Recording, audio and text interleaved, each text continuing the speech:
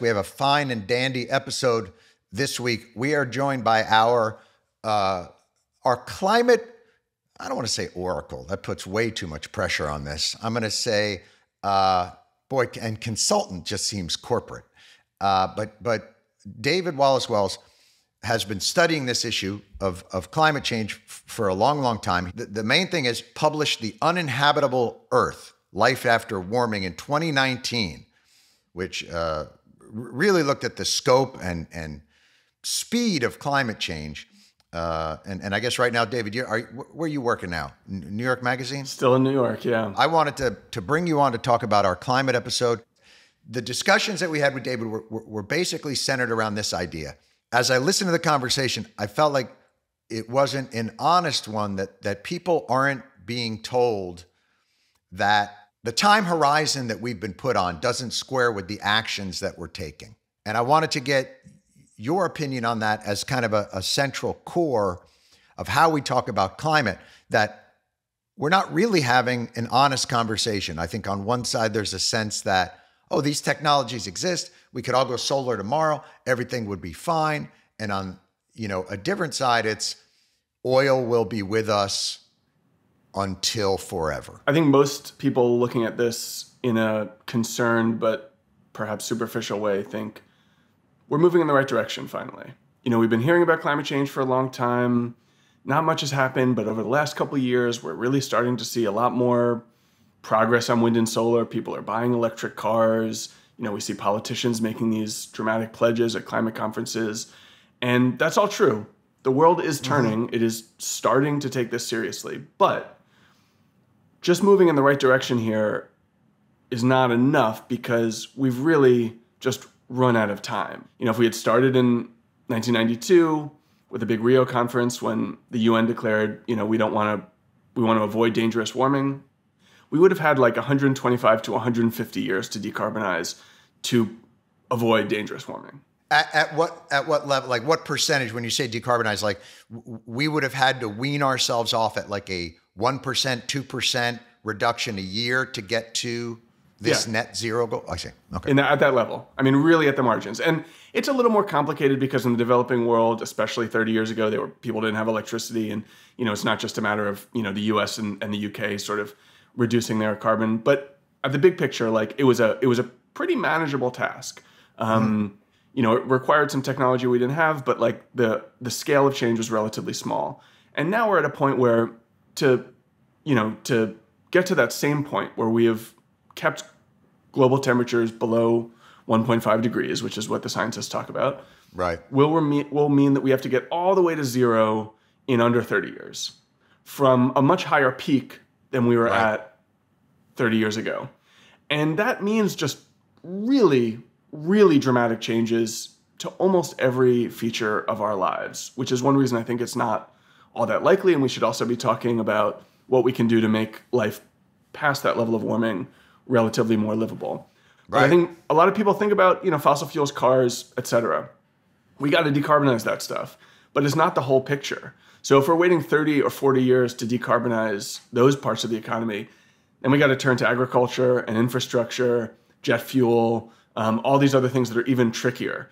And you know, to really give us give ourselves a meaningful chance of hitting that 1.5 degree target by 2050, and we're just nowhere near as as much progress is being made. As happy as I am that like the world is starting to take seriously, we're just no, moving nowhere near the speed that would be necessary to allow us to land below 1.5. And on the flip side of that, all the politicians who t- talk about Biden and Obama, even the, the, the two presidents in the United States who really probably took it more seriously than anybody, still come home from climate conferences and brag about opening up the petroleum reserves.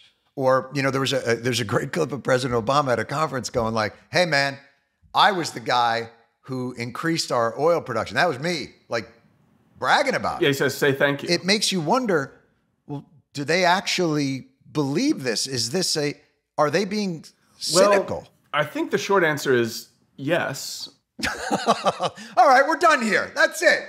We're getting out. That shouldn't surprise us. I mean, that's politics, right? And politics is complicated, and climate politics is complicated. Energy politics is complicated. You know, it's mm-hmm. not like if we just had the right people in charge in 1992, we could have snapped our fingers and made the world a very comfortable, happy, rich, prosperous, just, beautiful, perfect place without any disruptions to anybody. Like there is a reason we're in the bind we're in. Right. And that is because for several centuries, fossil fuels have been incredibly cheap, abundant energy, which has powered literally the entire history of economic growth. We didn't have economic growth before fossil fuels. Right. But that can't be an excuse for continuing mm-hmm. to operate in this way, given that we are already today at just like 1.1, 1.2 degrees of warming, we're outside the window of temperatures that enclose all of human history.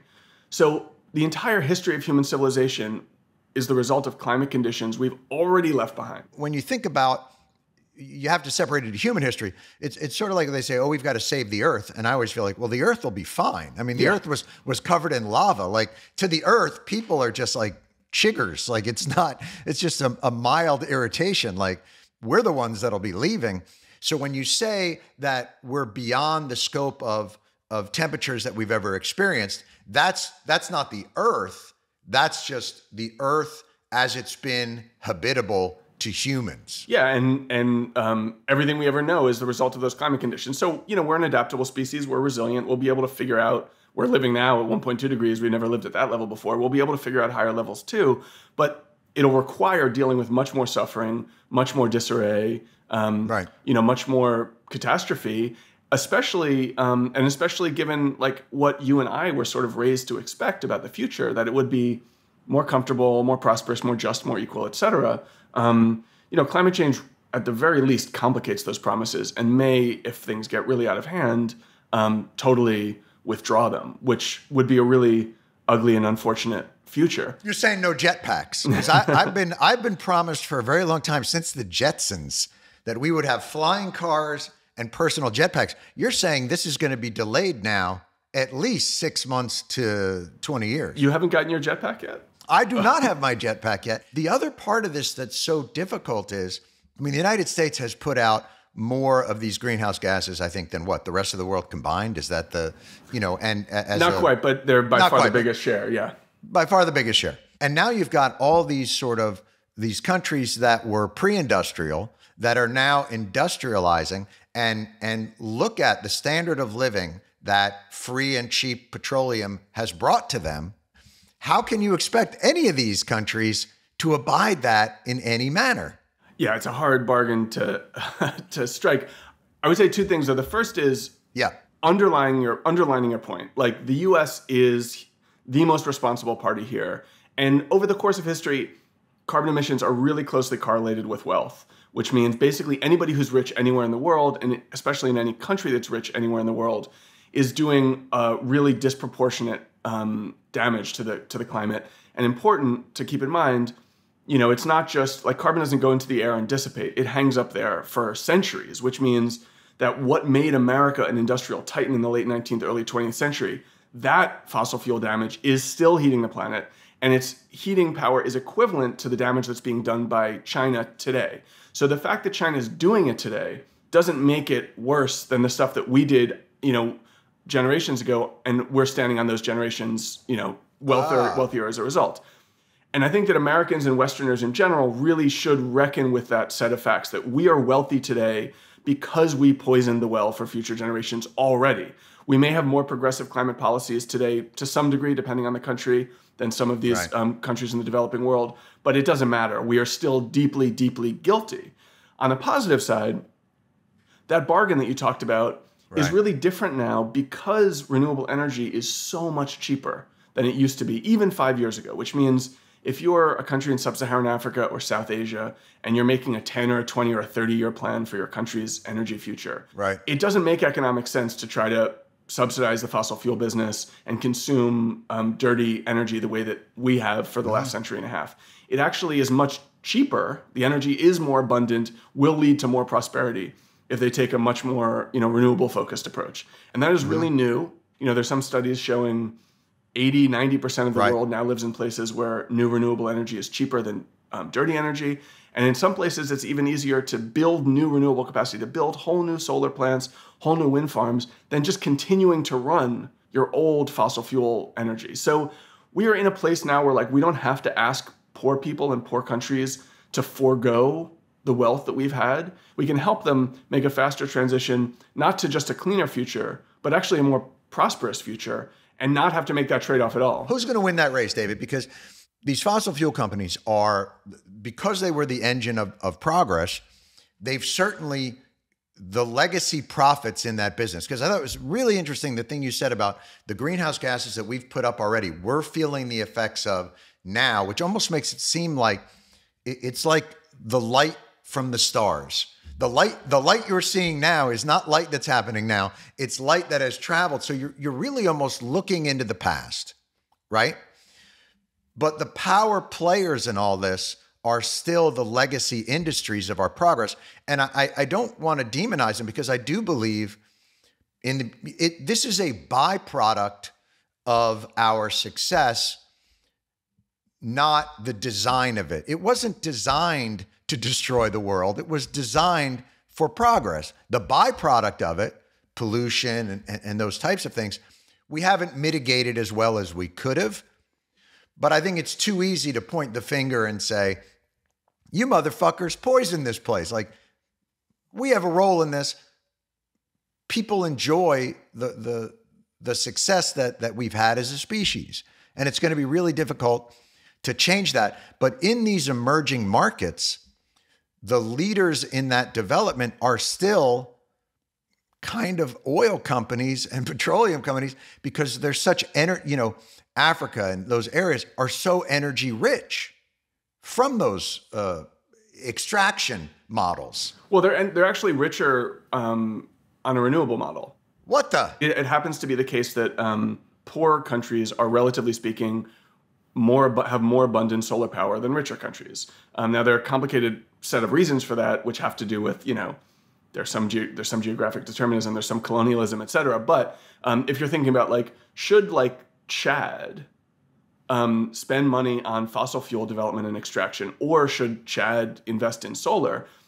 Taking the global perspective, they're actually better off in a solar-dominated energy world than one in which one that's dominated by fossil fuels. There are a lot of complications that those governments face, having to do with committed resources, their lack of um, capital to invest in somewhat capital intensive infrastructure projects right. that this would require. Right. And they also are to a certain degree dependent on um, tax revenue from these existing businesses. You know, many of them get a large share of their national tax revenue from the fossil fuel business. So for all of these reasons, they are kind of incentivized to stick with the status quo and keep burning fossil fuels, um, which is not just going to harm the climate future of the planet, but also the, the health of their citizens because they're huge I'm in some ways even more catastrophic than climate effects, huge effects on health public effects. health. Yeah. Yeah. Um, but you know, if you're designing this from a whiteboard and saying like, all right, let's start from scratch today, 2022. What are we gonna? What is sub-Saharan African energy gonna look like? And weren't dealing with all of those legacy problems and complexities. I think it's pretty inarguable that like every person looking at that, um, looking at that set of dilemmas and those set of um, challenges and, and dynamics would say the best path here is for an aggressive push into renewable energy. So the question is, you know, what can what can we do in the global north, and what can those um, leaders in the global south do right. to like make the whiteboard logic work in the real world, as opposed to just being like a fancy, happy thing to talk about in universities and um, on, right. on Zoom calls, you know because that's the thing is is we have to look at it from the real world perspective and, and you have to think to yourself like well so where is the money coming from for this development and generally, it's coming from people that are looking to exploit these resources. You know, when you're looking at countries that are historically have been exploited, this is just another model to continue that process. So the people that came in and extracted the mineral wealth and the labor wealth uh, and, and, and all kinds of other areas of wealth in sub-Saharan Africa and all these other areas are now in there extracting energy wealth under the guise of, hey man, we're going to help you develop. We're going to help you build some shit. So here's how it's going to go. We're going to mine it, we're going to extract it, we're going to do all those things. And in exchange, we will build you these infrastructure models. So if if because I do understand what you're saying about, well, if, if you look at it, it's actually uh, they're wealthier in sunlight or, or, or those types of things. But the truth is, I think the, the people that are going to provide the engine of that development are still looking at a legacy model of exploitation. It seems. And that's that's the one that is I don't know how you break that. I think in part it's trying to build an incentive structure so that um, new build out of renewables um, is not dependent on large immediate profits because the profit margins on um, in the renewable sectors is smaller than no the profit question. margin. Um, and in part, that's because it's actually a lot easier to do. You don't have to take these risks. you know, like right. doing it, doing oil exploration is like hugely capital. You don't have to find the sun. Yeah, exactly. Yeah, yeah. But it does mean that like these companies are not going to just say like, oh well, uh, energy is cheaper, therefore we should do it. They're the ones who want the price of energy to be pretty high, um, at least compared to the price of extraction. So right. what that means is like we need a different kind of um, a kickstart here. It's still a profitable business. It still can be a you know um, a sustainable like rewarding business, but it's not the bonanza globe straddling. You know we're going to transform all of geopolitics for a century and a half kind of business that um, that oil and gas was.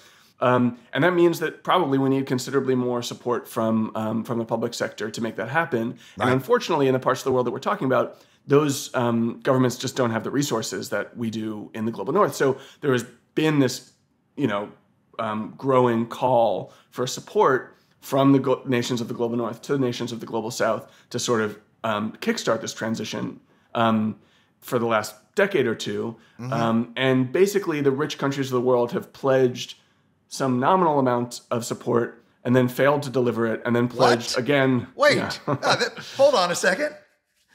So you're tell you're telling me, David Wellswell, you're telling me that uh, the rich countries of the world have said they were going to do something to help uh, the countries that they had uh, traditionally exploited, and yet not delivered on that promise. Yeah, so in the Paris Accords, I think they actually initially made a pledge of $100 billion a year in 2009, but they sort of more formally made it in Paris right. in 2015. They, they um, that, that um, deal was like finally struck in 2016.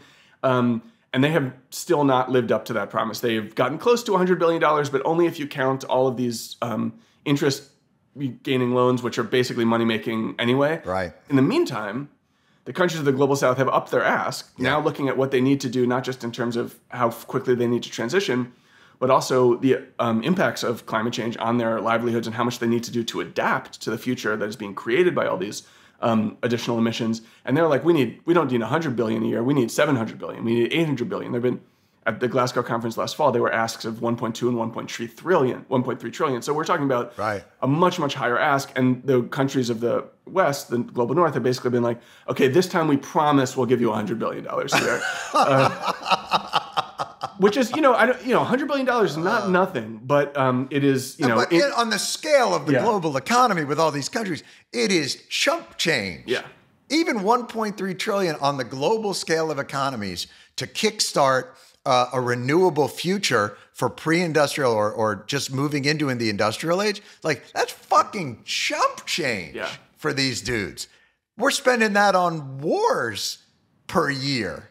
And in theory, just from a naked self interest calculus, like these investments would pay us back because these countries would be much healthier and more productive as a result, and they are our business partners. And I don't think we need to think narrowly in those terms, but you don't have to be um, moralist to think that we should be doing this. Like, if the right. world is, you know, there's an efficiency argument and a and a profit argument. I mean, if in India, right. like you know, the average person in Delhi, their life expectancy is nine years shorter because of air pollution. Um, you know, there are estimates that their GDP is six percent lower because of air, just air pollution, putting aside the natural disasters and all the rest of the climate impacts. If you're talking about an India that is six percent richer every year, that's that's a lot of additional wealth that the rest of the world could be sort of involved in in a um, in a gross capitalistic sense. Like, I mean, there are a lot of other arguments for doing this too, but I think what's really striking to me in thinking about it in 2022 is like philosophers use the term overdetermined. Like there's so many different arguments you can apply to say we should be doing this much faster. Mm-hmm. Almost every single one of them makes the case on its own, but we've got like six of them. Um, and yet we're not doing it because well that so now yeah. we beg the question so this gets to kind of the, the, the crux of the whole idea which is traditionally uh, the, the climate argument has relied on this idea that if people would only use this light bulb if you would only get this toilet flow, it, it got placed on that idea of it was climate change would be stopped by personal virtue of those that had already experienced the post industrial gains. A, what we found out is that was kind of a ruse created by the oil companies to kind of get you to look in a different direction rather than focusing on, you know, the 70% of greenhouse gases that come from uh, 100 different petroleum companies or energy companies. They wanted you to look at the individuals so that you they were going to make it about personal responsibility. Hey man, if you were just a better fucking person, we wouldn't be in this situation and and you better get your shit together. Clearly, that's not the way out of this. It, it's a much larger uh, issue. And, and what it said to me was, and it got me thinking that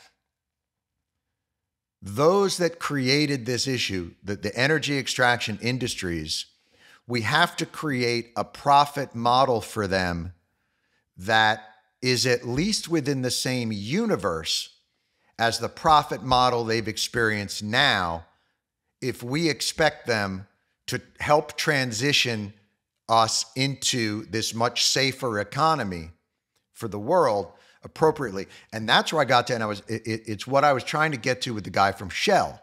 How much do we have to pay you? How, what is it going to take for me to put you in a greener economy today? Like, what do we have to pay them to clean this shit up? And is it, is carbon sequestration and carbon capture maybe the answer here? I, I'm not saying that you don't have to do these other things, but clearly we're not doing that on the time horizon that we need to. And is the answer, I hate, I mean, to put it in these terms, bribing these people to change their business model, to give them a business model that is effectively moving us towards a safer environment? Well, I'm going to answer that, but let me just say first at the top. Back it up, back it up, David. Give us a macro. You put a, you put a couple assumptions in there, which may or may not yes. be true. But if we want them to be a part of the transition, yes, we did not ask Philip Morris to be part of the transition. From a practical perspective, we have in the past retired industries that we understood to be destructive to our future. Um, and we have done that in certain cases with like, you know, getting those people on board and, you know, buying them out or whatever. Um, many people on the climate left um, under appreciate how much more wealth and prosperity and as a result to some degree equality and justice there is especially in the developed parts of the world as a result of economic growth that's been powered by fossil fuels although at this point in right. time it is now no longer necessary for us to continue on that path to continue you know using fossil fuels. We can count on not just further prosperity but additional prosperity um, through the use of renewables mm-hmm. and i think that's really important. So we are now at a point where a lot of that calculus has has really shifted. The truth is that um, we are not going to get where we want to go just through decarbonizing. In fact we won't even get there if we decarbonize as fast as the scientists tell us that we should all of these scenarios right. that allow us to keep warming to 1.5 degrees, um, they require an absolutely like you know I think some people have called it like a black diamond kind of run down the slope of carbon emissions, cutting it to zero with, with unbelievably rapid right. speed. But in addition to all that, in addition to that World yes. War II scale global mobilization, we also need to be taking carbon out of the atmosphere and storing it somehow in a permanent way because everything that we've put up there is still up there heating the planet. And if we want to, even if we change, even even if we were to do it at the speed and and decarbonize our economy at the speed by which you would keep it at 1.5 degrees, there's still all of this that exists in the atmosphere that if we don't take it out, we still get fucked. Yeah, and the scale of that is just, I mean, unbelievably staggering. It's a little complicated even to wrap your head around. It's like 2,500 billion tons of carbon are in the atmosphere. 2,500 billion tons. Like a car is like one ton. We're talking about two, 2,500 billion. Wait, you mean you mean the literal weight of it? The weight of the, the gas up there. yeah. Really? Yeah. So we need to like get a lot of that out, put it back underground so it stops heating the planet. And like I said, even the most optimistic decarbonization scenarios still ask for a really significant build out of what this variety of techniques broadly we call negative emissions. And there are different tools, some of which are technological, some of which are more quote unquote natural. But in these IPCC scenarios that allow us to stay below 1.5 degrees, they expect, in addition to this World War II scale mobilization starting 2019, which we didn't do, we need a negative emissions business that is um, at least twice as big as today's oil and gas business by the year 2050. They, they say we need to build one of these negative emissions plants every day between now and 2050. And today we have one operational in the entire world. But that's my point. So, who's got the infrastructure to do that and who's got the incentive to do that transition? So, they're so resistant, right? And by slow rolling it, I'm not saying they're the sole driver of our inability to get to this net zero, because the truth of the matter is, I believe human nature is I have something that I need to plug in. Where the fuck is the plug? They don't care if it comes from solar, wind, oil, anything. They just want to plug it in.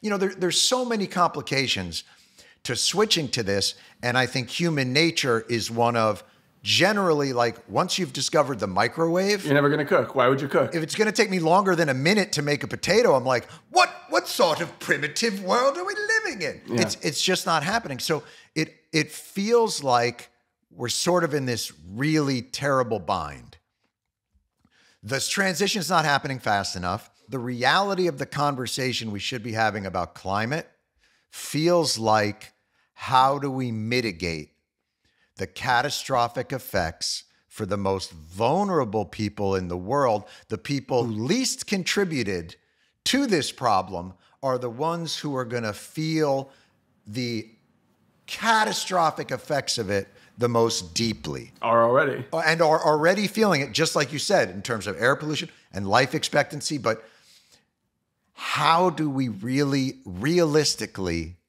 mitigate this catastrophe that's going to come down on, on, on all of our heads, but most certainly on the heads of the most vulnerable? You know, there are different ways of looking at this. There are political frames, there are technological frames. Right. Um, the the moral framing is um, people like you and me and our ancestors um, have done an awful lot of damage. Some of it is being apportioned to us and our descendants, but a lot of it is being apportioned to people in especially sub-Saharan Africa and South Asia who've done so much less. And just to put that in perspective, all of sub-Saharan Africa, we're talking about 800 million people. They have in total contributed about 1% of all historical global greenhouse gas emissions. And in the US, one country, we've done about 20, a little over 20%. And I think we really, really don't think in those terms when we talk about these um, challenges enough. Um, because it's not only that it's like these people who didn't do anything um, to contribute who are suffering, it's also that they are so much closer to you know basic subsistence level risks that like right. a, a minor setback of an unusual or even unprecedented heat wave or a single natural disaster just pushes them way way deeper into the shit than we experience in our parts of the world so like you saw the pacific heat dome in the in you know uh, western canada and the us last year a few thousand people died that's really bad but if a similar like off the charts heat wave that much out of the historical norm hit a place that mm-hmm. had no air conditioning um, where people were did not have a functioning local government or you know cooling centers in their town. Like you'd be talking about much, much, much bigger impacts, and we are likely to see those kinds of heat waves going forward. That's not to say everybody in sub-Saharan Africa is going to die in the next 30 years, but like the number of people whose lives are degraded and ended so, uh, too soon by climate effects is going to grow really dramatically and probably, even though those effects are going to be seen in our parts of the world too, we'll sort of comfort ourselves by saying, oh, well, at least we're not living in, you know, Chad. Um, at least we're not living in India. Can't you c- convince people that, like, they won't be living there either? Like, peop- humans travel. Like, this is going to cause a migration crisis. I mean, l- look at what happened when we destabilized the Middle East I don't know if you remember that. It was a few years back, about 15, 20 years back. We destabilized them. It depends when you want to talk. You could go much farther back to say, yeah. Can I just tell you this? It's the fucking British. It's always been, it always comes down to them. These, they just drew a map that made no sense. But, but the, the point being, that destabilization and the cascade effect of human misery that leads people in desperation. Look, the southern border crisis is, is a similar crisis uh, in, this country. uh, the European uh, crisis. It's a people that, in desperation, move towards an area that is more prosperous and more stable, and then that area has to get into resource guarding and uh, a, a battle against the other.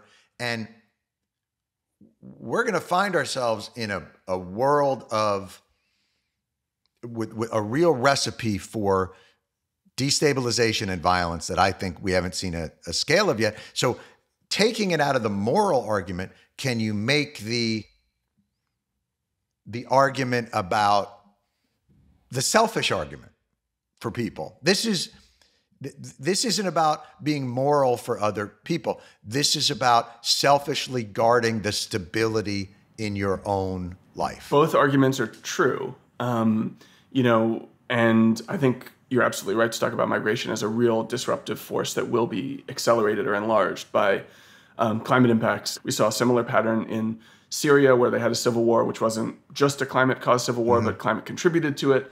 And as a result, 1 million people went from Syria into Europe. And the whole European migration crisis, the whole, all, you know, the global populist moment to some degree was sort of triggered by that migration right. from Syria of 1 million people. Now, the UN says by 2050, thanks to climate change, we're going to have um, 200 million climate migrants. And they actually say the number could be as high as 1 billion. Wow. I mean, which is as many people as live today in right. North and South America combined. Now, I actually think that, that those numbers are a little misleading and a little alarmist. I think first of all, most migration happens within country rather than from country to country, and second of all, I just I just think those numbers are a little high. I, I would, but even if we're talking about, let's take their lower bound estimate, right. 200 million, divided in half, that's still a hundred times the scale of the impact of the Syrian refugee and migration pattern that so disrupted European politics. So it's very clear that like unless we to some degree redesign our migration politics, we're in for some real deep disruption. And there is some social science that suggests that there's most resistance to new arrivals when those numbers are pretty small, and that once they get to a certain level, there's a greater level of acceptance. Although you could point to the example, the historical example of the US and say, you know, we are a nation of migrants, and yet we are still quite hostile to new arrivals. Oh, that's that's the key to our existence. I always said this. My grandfather got here you know, from he, he came from China, got got off the boat, and then turned around to the people behind him in line and said, "Get off my land." Like that's that's who we are. Like it's once you gain an ownership, it's it's resource guarding and it's territorial.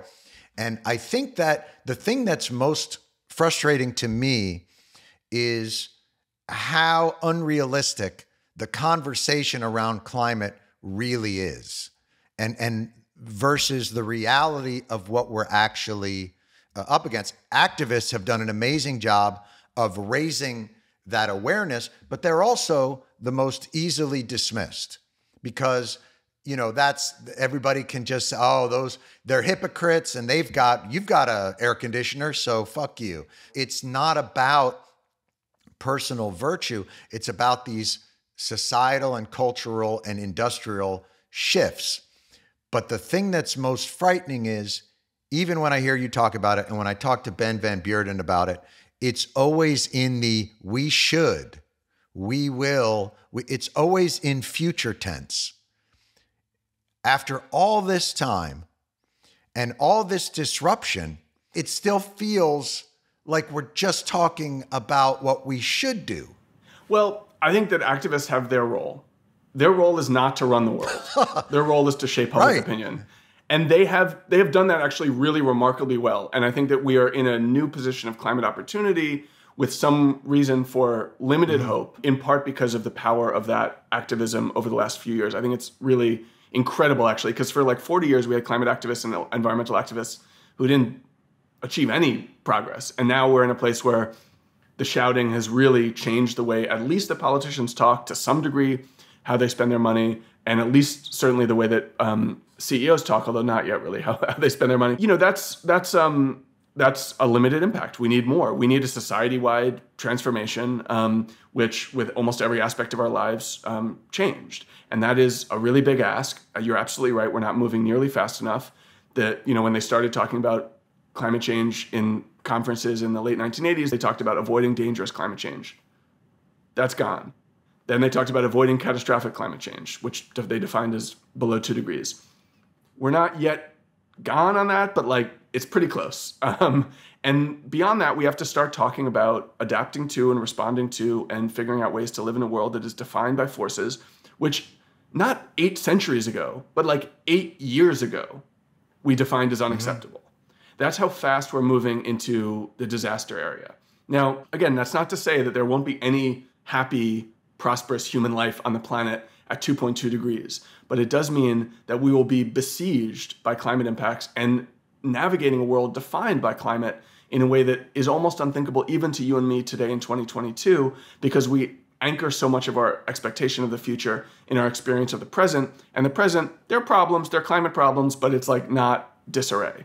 Now, what that demands of us and what we can expect and what kind of transformation we can hope for, it's a really, really complicated question, which has a lot of inputs. You, you know, you've talked about about the the level of the individual. The person gets benefits from you know um, from cheap fossil fuels. They don't want change. They're reluctant to pay more at the pump, but also just change. Mm-hmm. Like even if they're not paying more, people just they like the status quo. They don't like the new thing. Um, you know, politicians have moved too slowly. The, the oil companies certainly have been engaged in disinformation and, and denial campaigns, which have slowed things down. And yet, we are now in a place, in part because the renewable revolution has been so successful, movement is really different. And it means, in theory at least, that we could be moving, um, you know, maybe not mm-hmm. as aggressively as the scientists like. There are too many obstacles, just practical obstacles in the way of that, but much more, fa- much faster than most activists thought was um, believable. But the landscape looks so different than it did all that not all that long ago. And right. as a result, I think, you know, it's easy to be dispirited. I'm dispirited sometimes too about yes. how little has been done over 30 years. On the other hand, you know, the next 30 years, maybe I'm sounding naive, maybe I'm being naive, but it seems like it's a it's a whole different ball game um, that we're playing. So let's now. play that out because I think th- that's an interesting exercise because I always try and you know there's a theoretical process to this and then there's a human behavior in the real world process of this. I, I can tell you how I think this is going to play out. And I would like to hear how you do. You want to hear me to go first, or you want to go first? You go first, please. Here's how I think this plays out. You have laid out a thorough, very complex, and nuanced uh, view of industry and political leaders working together on a global scale to recreate uh, an energy positive future that is uh, more efficient, uh, less damaging, and uh, one in which we are still moving forward in a productive way with the industrialization and progress that humans have become accustomed to. And we're going to spread that into other areas. And it may not be fast enough, but it's it's the way we're moving forward in the future. I try and look at it as You think that's naive, Jon? Boy, here we go. Cuz look, man, the process that you laid out about cooperation is hard for me to stomach when like I see videos from Trader Joe's every day of people flipping the fuck out just because they have to wear a mask for the three minutes that they're in there buying a bacon and chive dip. Like, so it's hard for me to imagine. And that's Trader Joe's. And that's Trader Joe's. Uh, for some reason, all these videos are always at Trader Joe's. But so the complexity that you talk about of what has to go right is so is so complex that I can't imagine.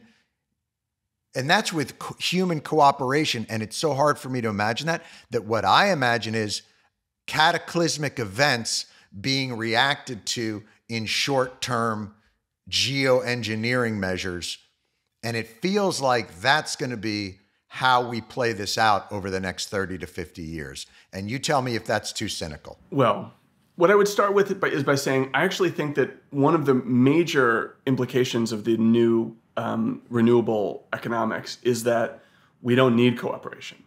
Okay. Because every country planning its energy future understands that their um, energy future will be better if they move faster. And that is a really liberating fact. It means that we are not depending on the better angels of our nature. Mm-hmm. We're not depending on cooperation. Okay. Um, that's not to say that climate disaster won't increase our collective sense of the sort of zero sumness of the world mm-hmm. and make us feel like we do need to hoard and we do need to close our borders, and we do need to look out for number one, and not to look out for you know the the poor, sad, starving baby in sub-Saharan Africa whose face we've ignored on late night infomercials anyway for 30 years. Um, those dynamics are real, and it's one of the one of the sort of storylines I'm most worried about going forward. That we we stop seeing um, the world as a positive sum place. Um, right. Even in those parts of the world that have benefited most from a positive sum view of um, of progress, and mm-hmm. start to see it much more the way that we saw in a sort of early modern um, phase of the world when it was like a more feudal system. Maybe not Mad Max, but a more feudal system. Yeah, and you know, especially as that ties into immigration, it's really it's really scary. You know, I my guess in terms of where we head in the next few decades is that we move a lot more quickly than seemed possible five or 10 years ago to build out our renewables. We don't move as quickly as we can to retire our fossil fuel capacity, which is really the mm-hmm. problem. We could like have 50 times as much renewable as we have today, but if we're still using the same oil and gas, it doesn't matter. Right. And we end up, you know, at a level of warming, say in, at 2050, that is well beyond what was defined as um, our goals not that long ago, say somewhere between two and three degrees. What happens then? You mentioned geoengineering. I think that that's possible. Um, right. And you know there is, I think, about to be a wave of new research and debate about it. Um, but actually, I think the argument for geoengineering is relatively weaker than it was five years ago because a lot of the worst case scenarios seem much less likely because of the progress that we're making now. So that means if we're talking about like if the world is fundamentally at three degrees of warming, but we don't want to live with that. We want to live with 1.8, and we can mm-hmm. shield enough sunlight to make that happen. Um, that's one kind of calculation. It's another thing if the world's at four and a half or five degrees of warming, and we want to try to live at two degrees. So the gap between where we're going to be and what we generally, as a planet, find acceptable is smaller than it was a few years ago, which means moonshot solutions like geoengineering, I think, have considerably less purchase than they did back then. That's not to say that we won't deploy them. And a lot of the right. advocates are actually talking about it now, not as a permanent solution, but as a sort of a bridge. Like if we can say that we know, but we may not get to net zero by 2060, but we know we're going to get there by 2100. Why don't we just like kind of do this weird thing for 30, 40 years to like allow us to build out our capacity? You're still talking about it as on average. But what I'm saying is because of the unequal distribution of the catastrophic effects. So we talked about Chad earlier, right? So, yeah, you're right. Maybe it's two to three degrees centigrade, and we mitigate the effects of that in America, and we're more prosperous. But in Chad, they may be having really catastrophic and lethal heat waves like they might be having in India. And they may take it upon, like you said, it doesn't require global cooperation.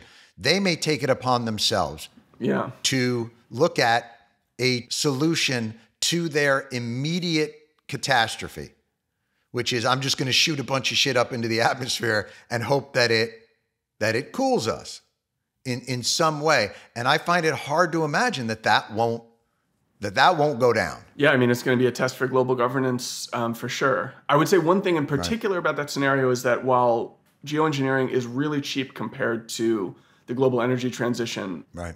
It's not that cheap, which means that for a country, not to you know, dump on Chad. But for a country as poor as Chad, it's likelier that you know it's a country like India or Saudi Arabia, um, a country that has some more resources, is not among the most poor countries in the world, but is still scheduled to be hit by um, by impacts, and in the case of Saudi Arabia, could stand to benefit from a longer um, a longer continued burn of fossil fuel resources. Um, right. But you know th- these are um, yeah these are open geopolitical questions which we haven't begun to um, tangle with, and I think that's actually pretty problematic. A lot of climate activists like don't even want to talk about geoengineering because it's like a false solution and we don't know what it would do and we don't know what its impacts would be on crop yields and weather and all the rest of it.